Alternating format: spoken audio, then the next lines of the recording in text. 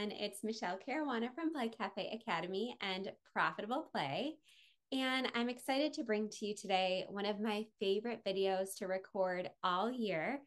And that is the video where I predict the indoor play industry trends for the coming year. So, this is going to be predicting trends for 2023. I've done this for the last couple years. And to be honest, not to pat myself on the back too much, but I've been pretty spot on.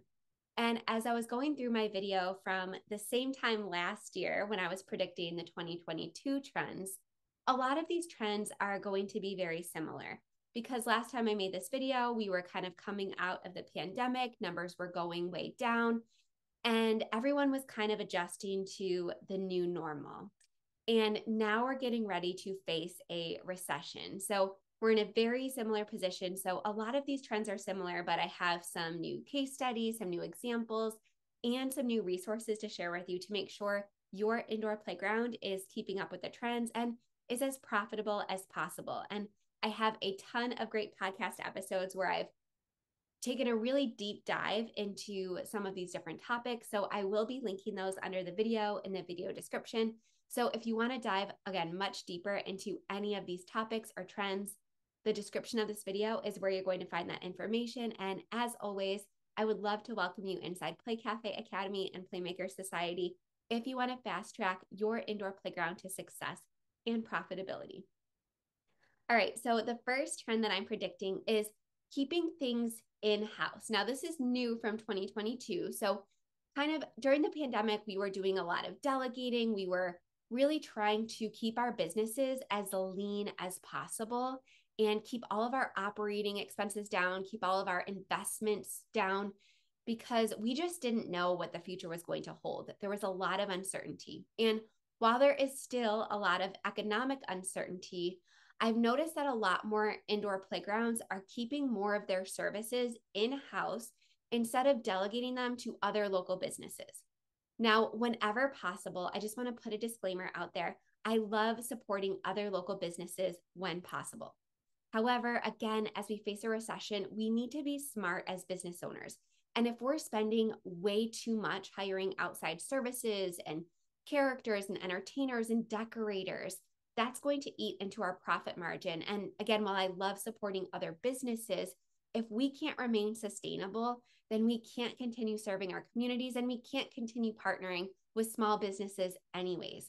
So, right now, I've seen a lot more indoor playground owners, like I said, keep these extra services in house. So they've been teaching themselves how to do balloon decor, garlands, arches, columns, things like that. I've seen a lot more indoor playground owners purchase their own character costumes. So recently on my YouTube channel, I interviewed Tiffany from My Play Cafe, and she was talking about how purchasing character costumes really intentionally. So she was seeking out characters that not a lot of other character providers or playgrounds or other event planners were providing in her area. So Bluey was a great example. Nobody had a Bluey costume really in her area. So she made the investment in one and now she does Bluey events all the time. They've been a huge source of revenue for her. So go back and watch that video if you want to learn to learn more about how to host successful character events. But she noticed that she was spending so much money hiring these characters from other providers. So, again, by being really intentional and strategic, she's able to make these investments and have them pay for themselves in just one or two events.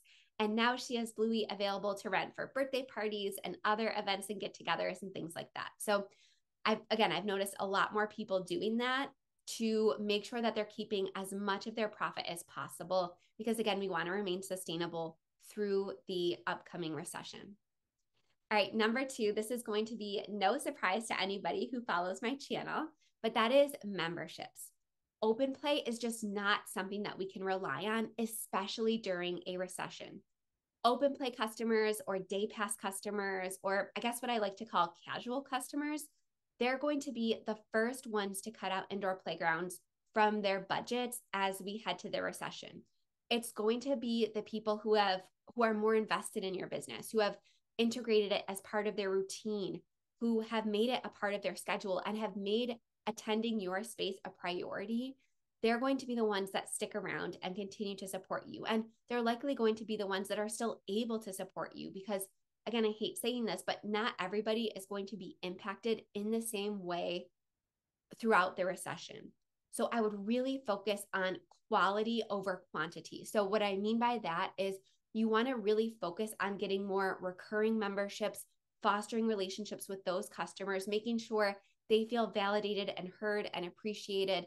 This is the time to reach out to them and ask if you're not providing anything that they'd like to see, or if they're thinking about canceling, get ahead of that and ask what you can do or what you can provide to keep that membership active. Have them invite their friends, neighbors.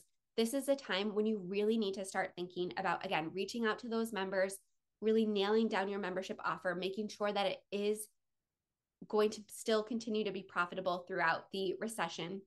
And make sure that, again, they feel heard and that those members are creating new membership opportunities. So, like I said, give them free bring a friend passes so that they can bring in people who might convert to new members. But we just can't rely on pure volume of open play traffic when we're in a recession because, again, those people that have not integrated your business into their routine or became more invested or dedicated to your business, they're going to be the first ones to kind of drop off because they don't see your business as a necessity. And yes, you can do some education around why play is so important, why play is a necessity, why bringing your kids around changes of scenery is so important. It's just the fact of the matter that open play is going to see the sharpest decline as people really tighten up their budgets and start spending less on entertainment or non essential categories. So focus on memberships. That's going to be a huge determining factor between the businesses that survive the recession and the coming years and the businesses that don't make it. So I just put out a YouTube video or two videos actually about the two main types of revenue you should focus on for a sustainable business, especially in uncertain economic times. And one was big ticket items like birthday parties, which we're going to talk about in a minute. And then the other was recurring revenue. So, again, if you want to dive a lot deeper on those topics, I go through two actual business examples and I share about business A, who focuses on open play, and business B, who focuses on memberships.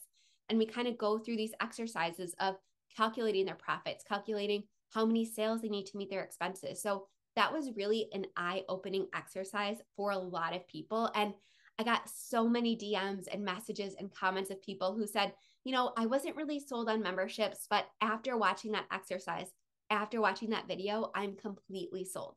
So I want to encourage you to again go to the description of this video if you want to learn more about how focusing on memberships and big ticket sales can mean all the difference, not just in your bottom line, but also in how joyful this business is for you and how much you get out of it as an entrepreneur. All right, number three is classes and education. This was again a trend from 2022, but I really seen it continue in 2023 because classes, things like that, things that are more rooted in education are going to be seen as more essential to parents. And they're going to be less likely to cut them out if they think there is, again, that educational value and not just getting the energy out. Even though, like I said, we all know that play is essential and it's so important to early childhood development. Fact of the matter is that, like I said, people are not going to have as much disposable income to spend. So if you can provide more value, extra value, more educational resources to your customers, that's going to be a huge, again, determining factor in your success in 2023. Now, I love what Alicia from Gentle Hands in Tallahassee, uh, Florida does. And kind of what she did when she was thinking about her class schedule and what she was going to offer is she did a lot of competitive research and she said, okay, what classes are already available? I'm going to go the opposite direction and I'm going to make sure that I provide unique class offerings that are not offered elsewhere so that people are going to come to me for them. So things like uh, story time and sing along, things like bilingual play group. She has really unique service offerings that, again, you can't find elsewhere. So it's going to be elsewhere. So it's going to be really important more now more than ever to stand out against your competition and to offer something really unique. So I really see a lot more indoor playgrounds embracing the classes and educational aspects again as people tighten their budgets. All right, number four is co working and childcare. So, a lot of people that were kind of taken out of the workforce during the pandemic, they're entering that workforce again. And there are so many more work from home job opportunities now than there were a couple years ago. So, something that I've seen a lot more indoor playgrounds embrace is co working and childcare. So, what I mean by co working is somebody can come with their laptop and their child can engage in supervised play. So, there might be one play attendant for every four or five children. And what I love about that is that the parents are still in the building. So if the child needs a snack or if the child needs a bathroom break or something like that, the attendant can simply approach the parent, they can take care of it, and then the child can go back to playing and the parent can go back to working. I was recently at Cafe Au Play in Ohio, and they actually had a silent pod that you could run out by the hour if parents needed to make a call or just needed some space away from the play area, away from the noise to get some quiet work done or something like that. So I've seen these types of things pop up all over in indoor playgrounds, even in facilities like Cafe Au Play, who have been open for 10 years and have never before offered something like this. But they've recognized the need, they've recognized the drastic increase in parents working from home and the need for these types of solutions. Another one is Tumbles Play Cafe in Buffalo. She does a co op so it's kind of like a school uh, co working situation. So it's just short term childcare where you do not need a daycare license. And it allows those working parents who need a couple of hours to meet their deadlines or take some calls or things like that. It allows them to have flexible childcare, flexible education options for their babies, infants, toddlers. So I definitely have seen an increase in that in 2022, and I expect to see that throughout 2023 and beyond. All right, number five, I kind of alluded to this when I was talking about memberships, but a bigger focus on parties and private events. Because again, in that video where I talked about the two main types of revenue that you should focus on big ticket and recurring, I talked about how much easier it is to just serve 100 or 200 party clients every single year, as opposed to having to service 25, 30, 50 open play customers every single day one birthday party that's valued at a thousand dollars could be the same amount of revenue that you bring in with a hundred open play customers. So, as I mentioned, not everyone is going to be affected the same by the recession.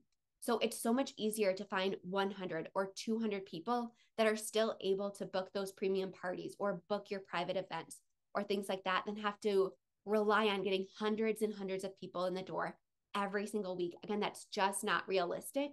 So focus on bigger ticket sales from a smaller group of people so that we can continue to pay our bills. We, of course, want to make sure that we're still being able to welcome as many people as possible into our space. But again, we also have to remember that we have to pay our bills. We have to remain in the green, or else we're not going to be able to continue serving our community and providing that positive impact well past the recession. So, parties, private events, I think that, again, because people are bringing things like characters and decorating and balloons in house, the parties are going to be a lot more profitable for indoor playgrounds in general because we're able to keep more of that profit. And then number six, I talked about this last year as well, is a bigger focus on gross motor play. So, as we made our way through the pandemic, now that we're getting used to the new normal, again, I really see a decrease in the little tiny toys that need constant cleaning in ball pits and things that are definitely going to contribute more to the spread of germs than a big play structure that you can simply mist or have cleaned with UV or something like that. So I've definitely seen a bigger focus on gross motor play because it's easier to clean, easier to sanitize, there's less small pieces, less toys going into mouths and things like that. And it's just so much easier to keep tidy as well. I remember because we focused on imaginative play, if we even had three kids playing, it would be a complete mess. Our floor would be completely scattered with play food and dress up clothes and things like that within just a few minutes of a few kids playing. So I've definitely seen a shift away from, again, those smaller parts. I definitely still see a lot of places doing imaginative play, but they're keeping a li- it a little bit more simple. There's a lot more wall toys with pieces that can't be pulled away from the wall, things that children can actually manipulate on the toy, again, without having to separate that from the structure. So, more focus on gross, gross motor, uh, more simple imaginative play structures, And something that Tiffany from My Play Cafe does is she has a lot of her smaller uh, toys with little pieces.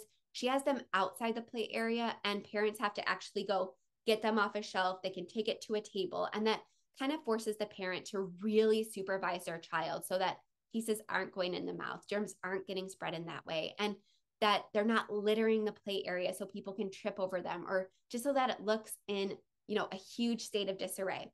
So I've seen, again, either people move those types of toys outside of the play area to encourage parent participation or places just doing away with them in general, because again, we are still seeing a lot of germ conscious customers. All right, next is I definitely see a lot more indoor playgrounds adding cafes, and that is not an accident. This is kind of goes to the point about keeping more things in house we know parents like coffees and teas and smoothies and things like that. We know that if they don't get them from us, they're going to get them somewhere else. So, this is just another opportunity to keep that profit in house and not have all of the parents running to Starbucks before they come to your facility. And I have an entire podcast series about why having a cafe is so essential to the long term success of indoor playgrounds this is something that I feel so passionately about. And a lot of people say, well, I don't have any cafe experience. I'm telling you, I had zero cafe experience. I barely knew how to make a cup of coffee. But I reached out to my local coffee roaster and I said, hey, we would love to use your beans at our new facility. Would you mind coming in and training my staff? Would it be okay if I went to your coffee shop? Because it's not a direct competitor, right? The people who are visiting local trendy coffee shops are not going to be the same people visiting the Play Cafe. So I said, Is it okay if I work a couple shifts there, get to know your layout, see how the space is run, see what people are most likely to order, see the order of operations of everything, learn how to make the lattes and cappuccinos and things like that? Would it be okay if I go through your training process and if somebody from, from your business came and trained us? And they said, Absolutely. So they have a big incentive in your success because if you're ordering beans from them constantly, they want you to be successful because you're going to become one of their cornerstone, most essential clients because they have to get through the recession as well, right? It's not just us. So even if you have no cafe experience, you can do this. I promise you. There are people out there locally who are equipped to help you and who are willing to help you at either no cost or low cost. And then a lot of people also have this fear that the cafe equipment is going to be way too expensive. But last time I checked, which was not that long ago, there are tons of commercial espresso espresso machines, commercial coffee makers and things like that on the used market. So you can buy a $20,000 espresso machine for $8,000 and it's still under warranty or there's someone local that might be able to help you service it. There are definitely ways to save on your on your startup costs of your cafe there's ways to be really smart about going about it. I have an entire training about what you need, what you don't need, what to save on, what to splurge on in Playmaker Society. And when it is one of my most watched, most appreciated lessons, we talk about ice machines, we talk about, um, again, espresso machines, coffee makers, fridges, under the counter fridges, things like that. So that is definitely something that I'm very passionate about. So I make sure I make it as easy and as no as much of a no brainer process as possible for my Playmaker Society members because, again, not only does your cafe add to your bottom line for open play, it also made us a couple hundred dollars every single party we hosted because once one person orders the latte, all the parents order a latte. And because we served generally younger kids, parents weren't dropping their kids off and leaving at the birthday parties. They were sticking around, and we had large family parties with lots of adults. So just think about it a couple hundred dollars every single time you host a party on top of the party bill. And that's not something, that's not a check you're going to have to give the party parent. Parents had no problem paying a couple dollars out of pocket to be able to sit down and enjoy a nice latte or a tea or a cappuccino or a bubble tea or something like that during the party. They were more than happy to pay for that. And same goes with every single event you host. Same goes with your memberships. You can offer free coffee. That just adds so much incentive for somebody to purchase your membership. So, again, I have an entire podcast series about why your business needs a cafe, which I will link, you're going to be able to pay for all of your equipment within just a couple months if you go about it in the correct way. So I'm going to link that podcast series, but again, you can do it and it's going to make a huge difference in your business in ways that you probably don't even realize right now. All right, I'm off my soapbox. Number eight, physical products in e commerce. I definitely see a lot more indoor playground owners putting more of an emphasis on online sales because, again, we're coming up on a, on a recession. I know I sound like a broken record, but by increasing your customer base, by being able to sell toys and retail items to people all over the country or even the world, it's going to really unlock a new revenue stream and allow you to serve people that you would have never had the opportunity to service before. Again, whether that's retail products, whether that's digital downloads or worksheets or activity kits or subscription boxes. I know Alicia from Gentle Hands Play Cafe I mentioned her already, but she also does subscription boxes and play kits and uh, sensory bins and things like that that people can purchase no matter where they live because she ships it. Tal from Art Factory and Play Cafe, she does balloon delivery. So even if somebody doesn't have a young child, if someone's graduating or if somebody is having a retirement party or if a local corporation needs an art art uh, balloon arc arch or something like that um, she's able to go to them and deliver that. And I'm going to talk more about that in a second. But I definitely have seen a big emphasis on creating a customer base that we wouldn't typically think of for an indoor playground. But if you're going to teach yourself balloons, if you're going to put together these kits, don't just sell them locally. Don't just serve people with young children. Think outside the box, expand the amount of potential customers that you have, whether that's more people locally in different in different age ranges or demographics or whether that's people in a completely different town, state or country. You really need to start thinking outside the box so that this revenue stream becomes more protected and more versatile. All right. Trend number 9 is mobile businesses. So I kind of alluded to this in the last one, but balloon deliveries, mobile play deliveries. A lot of people are still feeling more comfortable celebrating at their own homes or celebrating outside. So, this is just another way to expand your base of potential customers by offering to come to them with your services, whether that's play equipment, whether that's event planning services, whether that's balloon deliveries, whether that's party favors or something like that. I've seen definitely a lot more businesses becoming location independent. So, if somebody doesn't want to have a party at your facility or if you're completely booked, again, by having the option to go to them, you're going to be able to make a lot more money and you're going to be able to serve a lot more people. And again, this is a perfect example of really increasing the amount of potential revenue that you can have, even if you're keeping your revenue streams the same. So, parties, just by offering the option to come to them, you could potentially double the amount of parties that you're able to do.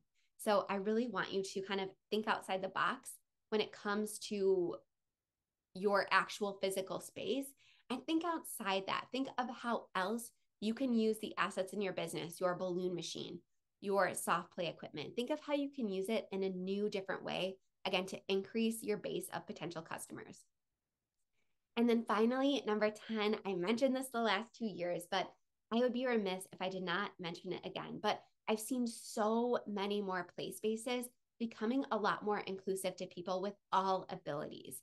So even if a space isn't made specifically for kids on the autism spectrum or with physical disabilities, I've seen a lot more owners be much more cognizant of how they can better accommodate, again, children of all abilities, even if it's not their primary focus. So I've seen a lot more indoor playgrounds adding quiet corners or sensory corners for not just kids on the autism spectrum or kids with sensory processing issues, just toddlers that are a little bit overwhelmed and need some time away from the hustle and bustle of the play area. Or maybe it's a mom who is nursing who just needs to take a step away from the noise so that baby can latch without getting distracted. Or maybe a child fell asleep in the baby carrier and mom or dad just needs a place to kind of sway back and forth in a, a more quiet space. Um, I've seen a lot more people put emphasis on um, again, a lot of gross motor play and even fine motor play that is made specifically for kids with autism or children on the spectrum or uh, children with sensory processing disorder. But what I love about a lot of that equipment and a lot of those toys is that even though it's made specifically for that type of child, it's so universally enjoyed by all children. So, for example, um, my six year old son who is autistic, he loves um, the swings. So, any of those hanging swings that he can rock in. Yes, he absolutely loves it. And he also has one in his OT room at school. But his older brother, who is neurotypical, also loves it. It's one of the most popular attractions at the indoor playground that we love to visit. So I've definitely seen a huge focus and a lot more people put a priority on inclusivity and better accommodating kids of all abilities. Again, whether that is um, a neurodivergent customer or whether that's a child with a physical disability, I've definitely seen a lot more owners put a lot more thought into planning to better accommodate them. And I actually have a five part series about how to better accommodate both children and autistic adults. And that is also on my podcast, which I will link. But I absolutely love that owners are doing a lot more research. They're educating themselves a lot more than in the past because, again, education has really been a lot more pervasive, which I absolutely love. Again, as a mom of an autistic child, I take more notice than probably the average person, but it's so appreciated. And the same goes with food allergies. I also just put out a podcast episode with a food allergy expert, and I've noticed a lot more indoor playgrounds being a lot more careful when accommodating food allergies and being more inclusive. Whereas a couple years ago, a lot of indoor playgrounds would just say, play at your own risk. You know, it's, it's, you know, a nut. Um, I forget what the wording they uses. They don't use nut free facility, but like nut aware facility, meaning we encourage parents to leave nuts at home, but we don't require hand washing or, you know, we don't ban nuts or anything like that. So I've seen a lot more indoor playground owners, again, educating themselves about food safety awareness, um, about food allergies and things like that. So I absolutely love that we're creating more opportunities for more children to play. And that just warms my heart. And I am, again, just putting it into the universe that I hope this trend continues in 2023 and beyond, because again, it's appreciated by parents across the board. All right, well, that wraps up today's video for the trends that I am predicting in 2023 and beyond. If you have any questions or anything you'd like me to cover more in depth, or if I missed a trend, please comment and let me know. I love to do follow up videos or part twos of videos, but I hope you enjoy this video and I hope you have a restful and joyful and safe and healthy holiday season with your family. We're about to get hit with a winter storm, so I'm putting this uh, video out a little bit earlier than normal, but I hope you enjoyed it. And I will meet you right back here at the end of 2023 to kind of recap and see if my trend predictions were right. All right, head to the video description for links again on deeper dives on all of these topics memberships, cafe sales, um, better accommodating autistic children and adults. I have all of that information linked. And this is the perfect time to kind of binge on those podcast series and YouTube videos while you're home and resting with your family. Right, have a great day and happy holidays.